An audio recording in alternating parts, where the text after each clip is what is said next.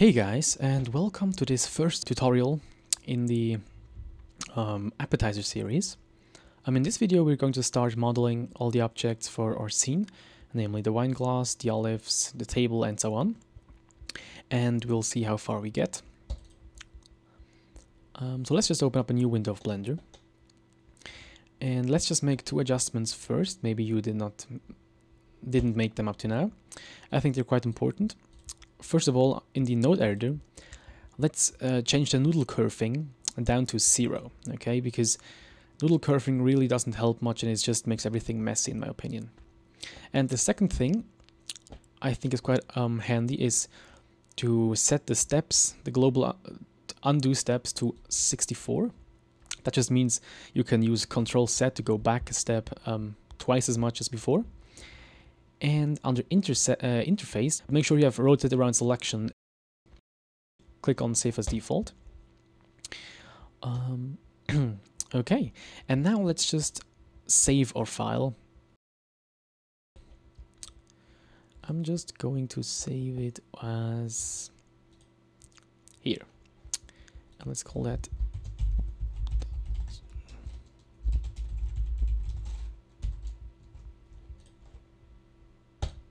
Okay.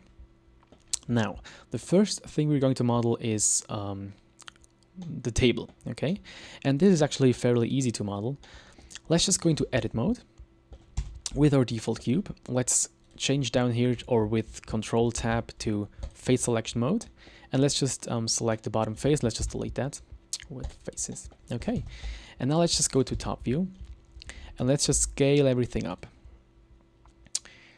until it's just about, let me see, about 12 Blender units. And that would mean just about one, two, three, four, five, six, just around right there, something like this. Now let's just scale it down in the Z axis, like this. And now let's just do one last thing. Let's um, push it down a bit more Let's extrude it. Uh, let's move it up a little and let's scale it down so we get a very slight um, beveled edge there. Okay, so this is our table. Now the next thing we can do is we can actually set up our camera already. So in order to do that, let's go to 3 on our numpad. Then let's hit 5 to, to go to orthographic. And now when we're just about there, let's just hit Control Alt 0 to reposition our camera. Then with a right click on this outer border, let's select the camera, let's move it up with C actually. And then just rotate on let's just rotate it around the Y axis to about right there.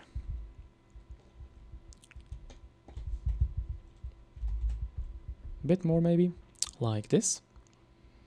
And now one thing we can do already is we can change the resolution from 1920 to 1080 to um, 1080 by 180 because um, for this kind of scene it actually, in my opinion, it's best to use this kind of format. Now with G, middle mouse wheel, we can just zoom in a little bit.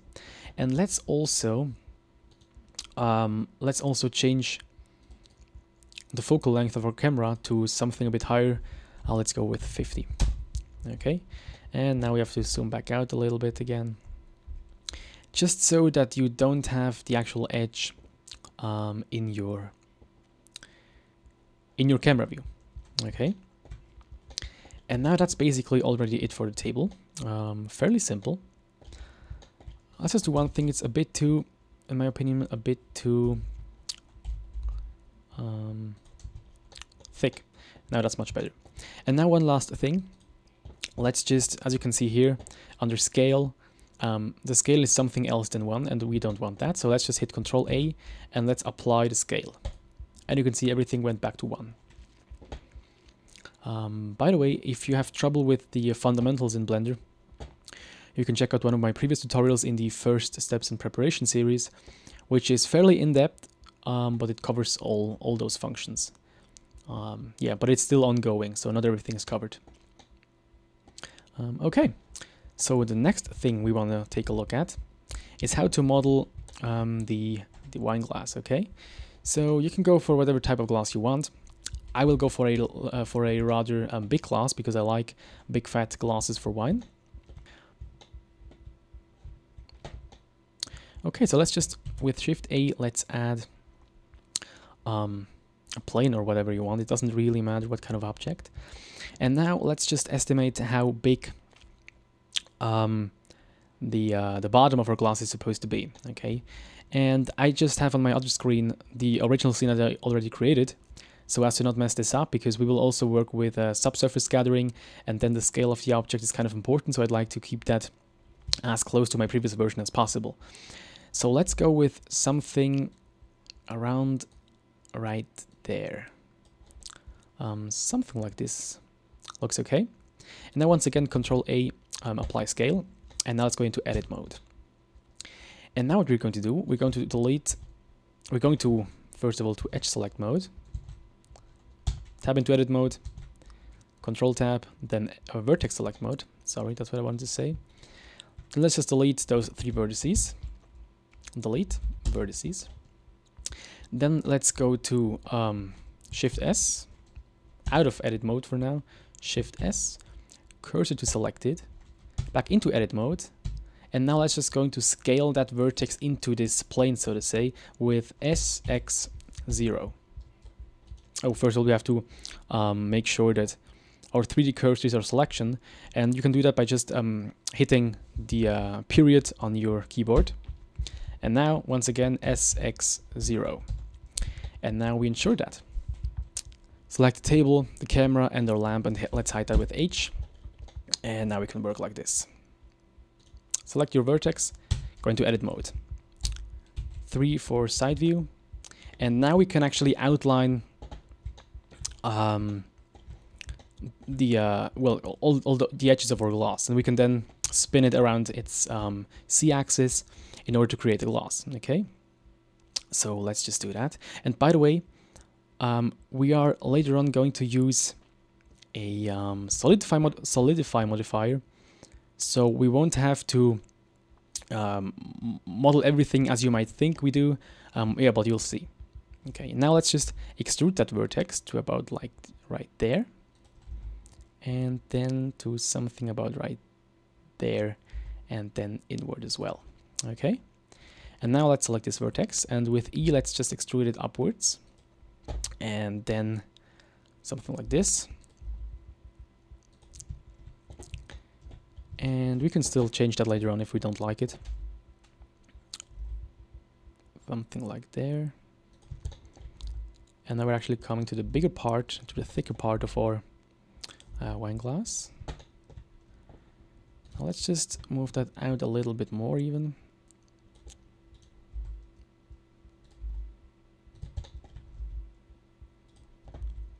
So that it looks just about like that.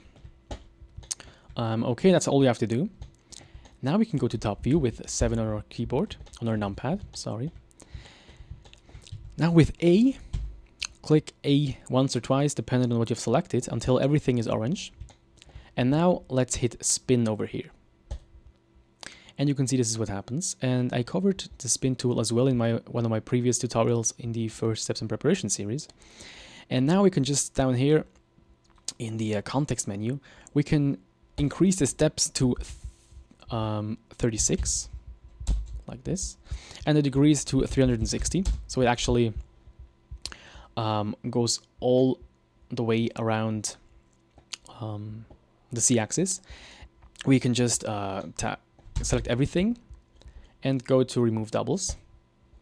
You can see it removed 18 vertices and now we have ourselves a wine glass and as expected, I'm not really ha too happy with um, with the uh, with the way it looks. So let's just tap into edit mode. Let's just with C select that middle part. Let's scale that out a little bit. Um, also, let's change the selection from 3D cursor to median point, and you do that by hitting Control um, comma on your um, keyboard. Scale it out a little bit like this. And now let's also just grab with box select those vertices there. Let's move them down a little bit. Okay. And then let's also grab the whole upper part like this. Let's scale it in and then let's hit Shift Z. So it doesn't scale it on the Z axis. So just about right there. And then let's also scale the upper part a bit out. Because it's quite difficult to um, estimate how it's going to look once you spin it around uh, the Z axis. Let's also just bring that edge a little bit down and those two as well.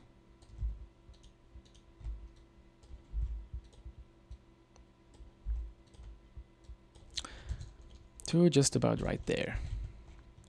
And also let's now select everything and let's hit Control N to for normal, normalize, and now you just recalculate all the uh, vertices.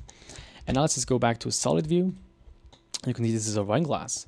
And, you know, depending on what you're used to, you can change that to whatever you want. And now with Alt H, let's just bring back all the other objects and let's just make sure that it actually stands on the surface there. And because this will will become a transparent material, let's just make sure that it's slightly above um, the surface. A bit more, doesn't really matter so much. Okay, now um, let's also move it um, closer towards the camera. Go to top view. And one other thing to um, make orientation easier, let's just select our camera. And then under display, let's just select limits, so we get this line. And now I want it to be approximately right there, like this. Okay. Zero to check if that's okay.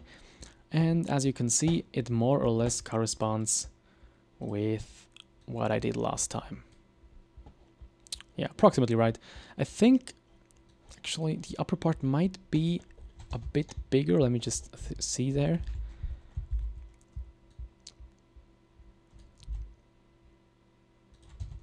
Like this. Okay, that's perfect. Um, this is, of course, by far not a real wine glass just now.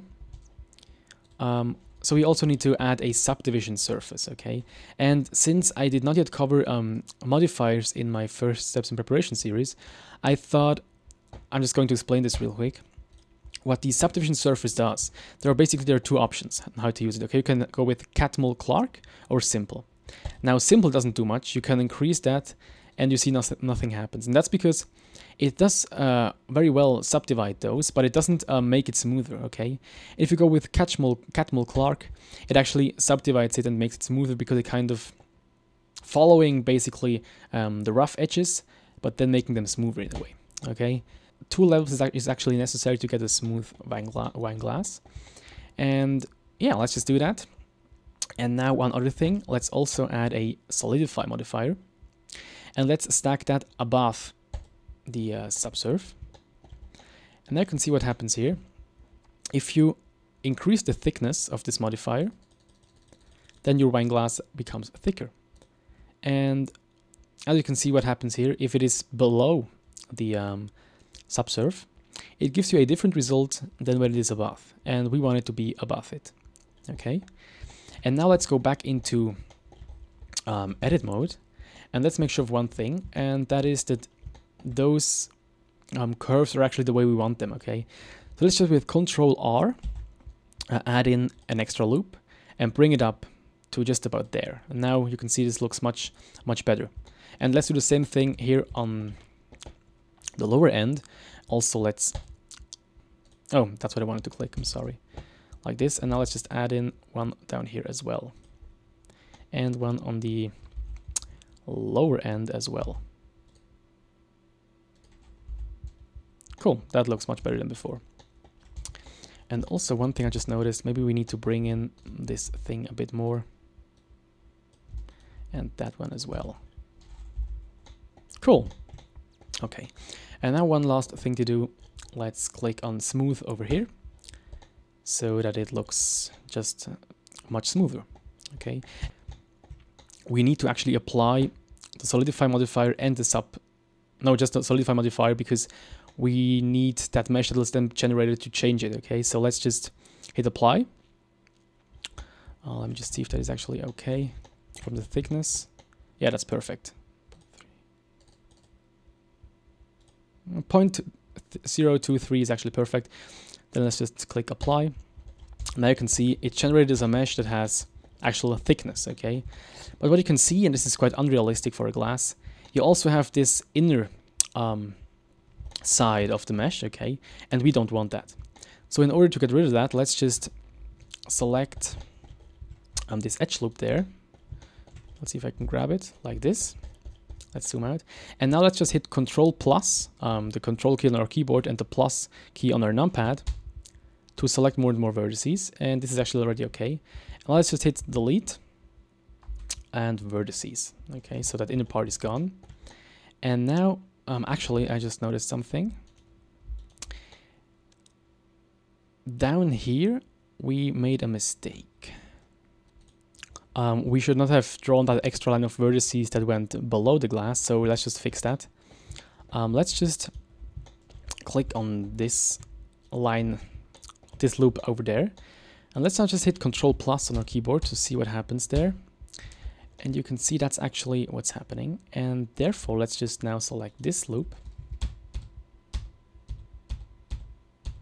Like this, okay. And actually, one more. And let's just hit delete vertices. And you can see that problem is gone as well. And now let's just select this innerst, this smallest circle there. Let's hit Alt M at center. Okay. Let's just move it up a little bit like this. And now we've got ourselves a nice glass model on the bottom, but on the top we still have some unconnected vertices. Let's just select this loop as well. E to extrude, S to scale in, Alt M center to connect them, let's just move them down. Okay, so now we have our wine glass. Um, next thing to do would be to um, model the wine in it, okay? And the easiest way to do that is to select exactly this vert vertex. And once again, hit Control plus on your numpad. And let's say you want to fill our glass up to just about there, okay?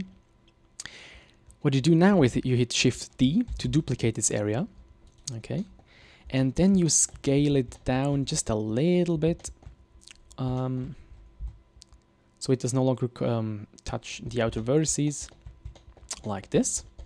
And let's make sure before you scale that you actually have a median point selected, so it actually scales it towards its center, okay. And then let's just hit let's just hit P um, selection and now, if you go out of edit mode with the tab key, you can see you've got an additional mesh. And that's actually the base for our wine.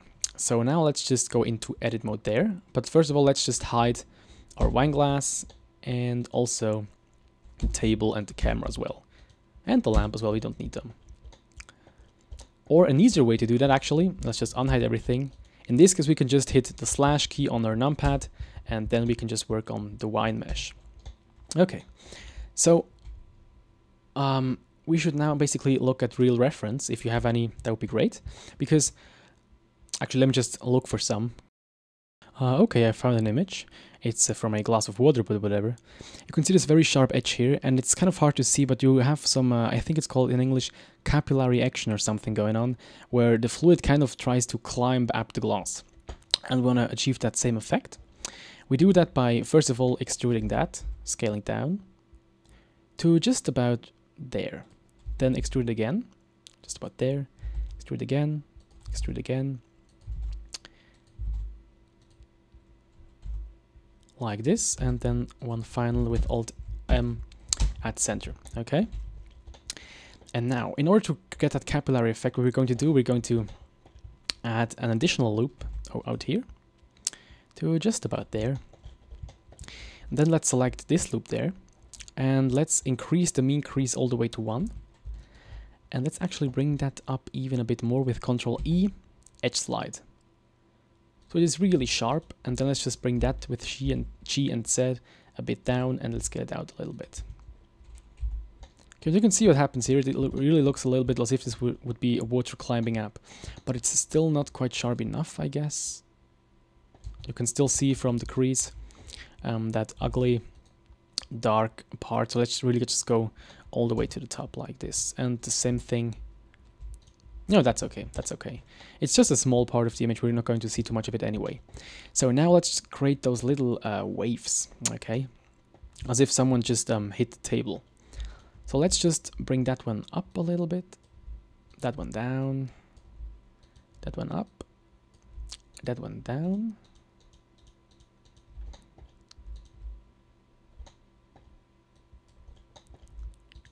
That one again up. And actually, let's just make sure that there is, let's just scale that out a little bit. Let's put there's an additional one there. Let's move that one up a little bit as well. And so that, okay, it doesn't look too bad. And now, um, one last thing, let's just select this edge loop. And let's rotate it around the x-axis a little tiny bit, not too much, just like that. And same goes for this inner one, our y around the y-axis a little bit. Okay, so it's just not too uniform.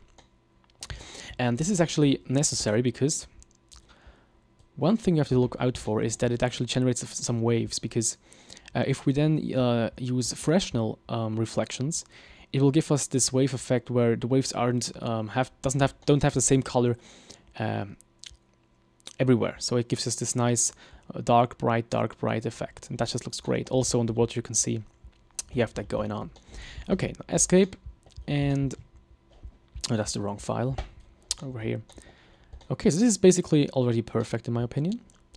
Now let's just unhide everything else with um, pressing our slash key again on the numpad. Then let's once again, um, with C on our keyboard, the Z key, we can go into um, object mode. You can see it fits apparently quite well. And now, once again, with C, we can see everything in wireframe mode. And as you can see over here, uh, it doesn't really work because we made a few adjustments. So let's just select that mesh again. In, my case, it's already selected. Edit mode. And let's just select those outer vertices like this. Okay. And let's just scale them in to just around there. Now, one other problem is that um, although that is now okay, it's no longer okay over here. So we have to add an additional loop over there and then we have to scale that one in a little bit. And then we can scale that one that one out a bit more. And this is okay really. It doesn't need to be perfect because um, it isn't that important but just so it's approximately right. Okay so that's it for the, the wine glass and for the wine itself. Um, so yeah I think I'll call this part one of the modeling uh, yeah, I hope you enjoyed it. Hope you learned. hope you learned a thing or two. Although there wasn't, there weren't really any difficult things in this tutorial. Um, if you have any questions or comments or suggestions or whatever, please post it in the comments. Um, yeah, thank you for watching and see you in the next tutorial.